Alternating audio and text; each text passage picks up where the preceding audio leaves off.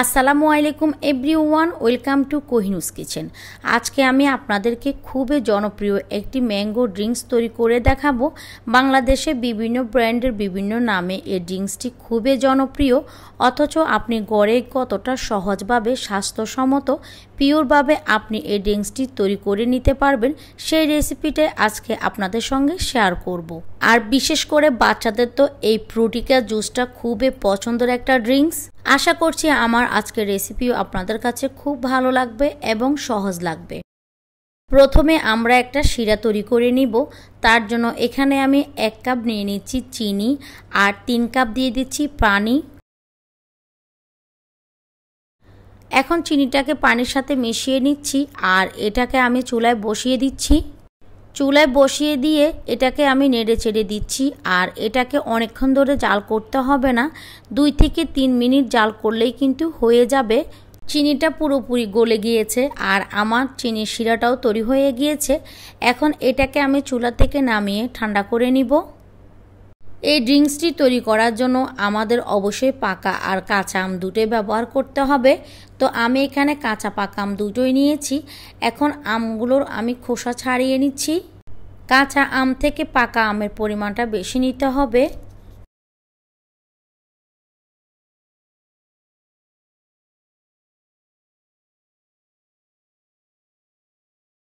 আমগুলোর খোসা ছাড়ানো হয়ে গেলে আমগুলোকে আমি ছোট ছোট করে টুকরো করে নিচ্ছি।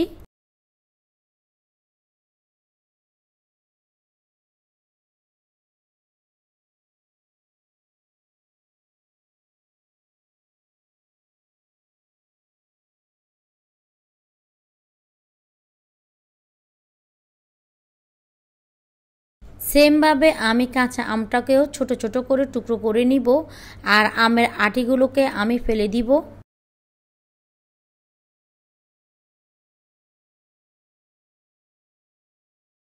আমার এখানে পাকা আমের পরিমাণটা কম হয়ে গিয়েছে, তার জন্য আমি আরও একটা আম কেটে টুকরো করে নিচ্ছি।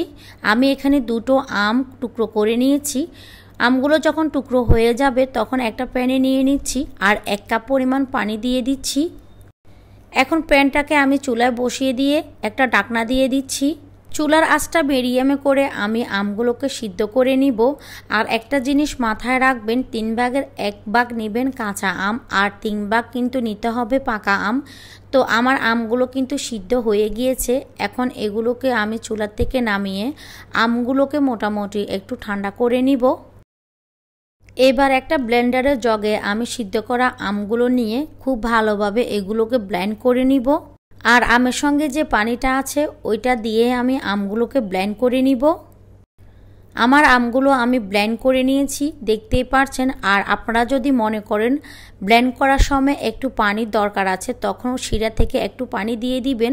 দেখতেই পারছেন আমের কনসিস্টেন্সিটা ঠিক এরকমই হয়েছে। ব্ল্যান্ড করা আমের মিশ্রণটাকে আমি বড় একটা পাত্রের মধ্যে ঢেলে নিয়েছি।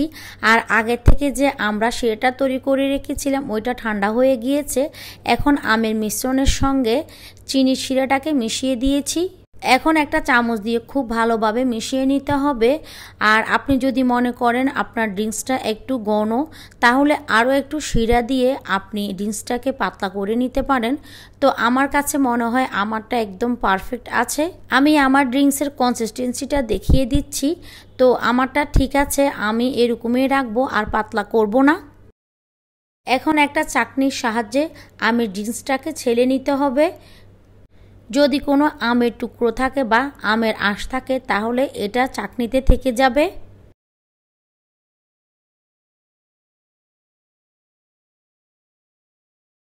ছাকার পরে আমের যে অবশিষ্ট আছে, এগুলি আমি ফেলে দিব।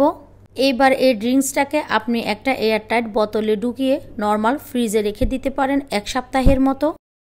আর আপনি যে আমগুলো নেবেন, আমগুলো যদি খুব সুন্দর একটা কালার হয় বা পাকা হয়, তাহলে আপনার ড্রিঙ্কসের কালারও কিন্তু খুবই সুন্দর হবে। আপনি যদি মনে করেন আপনার ড্রিঙ্কসের কালার সুন্দর হয় নাই, তাহলে আপনি এক চিমটির মতো জর্দা রং দিতে পারেন বা অরেঞ্জ ফুড কালারও ইউজ করতে পারেন। এই তো তৈরি হয়ে গেল দারুণ স্বাদের, মজাদার হান্ড্রেড পারসেন্ট স্বাস্থ্যসম্মত ম্যাঙ্গো ড্রিঙ্কস ফ্রুটো ফ্রুটিকা যে নামে ডাকুক না কেন, এটা আসলে খেতে অনেক বেশি টেস্টি হয়েছে।